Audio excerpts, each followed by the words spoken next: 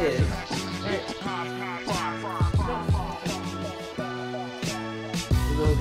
This. I'm not listening to you. But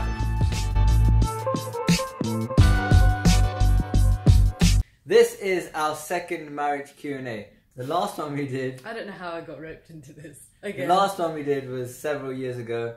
We've recently had our seven year anniversary. Congratulations.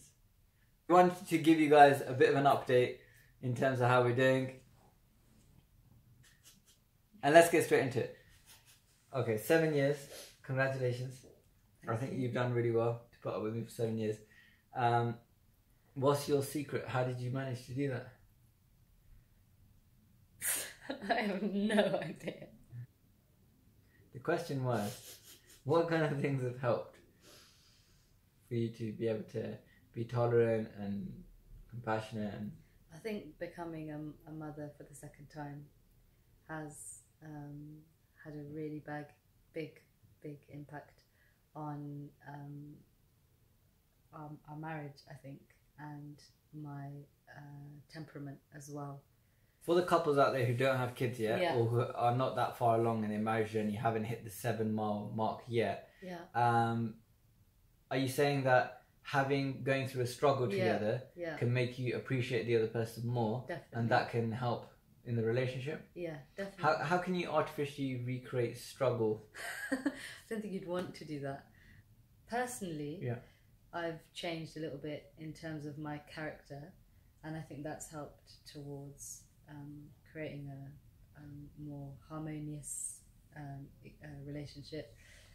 I second that. Yeah, I think that um, I think I would very easily get um, go from zero to like ten in terms of getting annoyed and frustrated, and then not really thinking or not really having at the forefront of my mind the consequences of that, and not really caring about it in the moment. But since we've had kids, and also just generally, I think over time, I've realised that once we've had an argument, the consequences of that are just just um, just pointless. They're just it means that we don't talk to each other for a day, or it has a negative impact on our kids. And I look around and I think I'm so blessed to have such a nice family that I want to I want to enjoy each moment. Like I really really want to enjoy my time. I just can't afford to waste a day just not talking to you because we've had an argument over something ridiculous. So I think the biggest thing for me is realizing that the issue itself that we're arguing about is usually not the problem.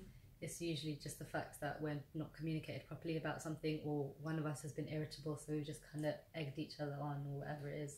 And I think I've gone the opposite way. Mm. So I think I've uh, become worse over time. But I think one thing that's helped me is having taking out time. I didn't ever Mm. think that it was important to actually take out time to sit with you. I thought we're married, job done, and that's it. And we just live in the same house together and things like that. And um, obviously love each other and. live- But I didn't think that actually it takes time Mm. uh, a commitment and we've got to sit down and we've got to spend time together. I need to figure out how you're feeling, what Mm. challenges you're having, yeah. because I feel that that wasn't something I'd ever been used to communicating Mm. how I was feeling and Mm. what I was going through. Yeah. It would just come out in my behavior. Yeah.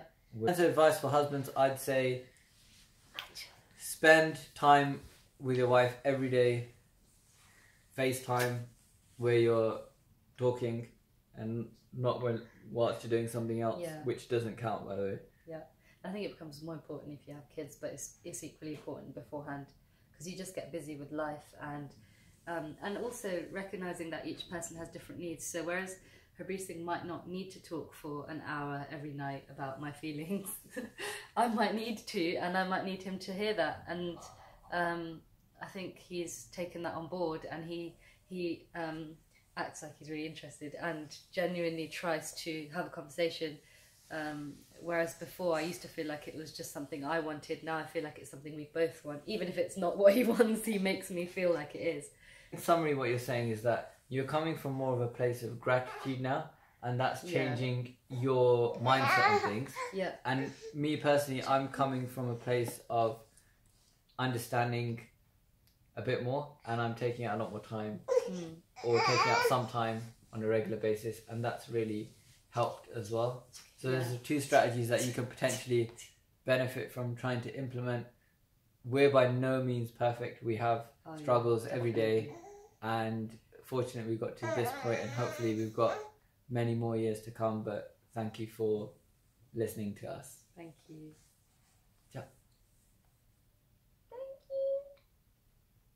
Daddy,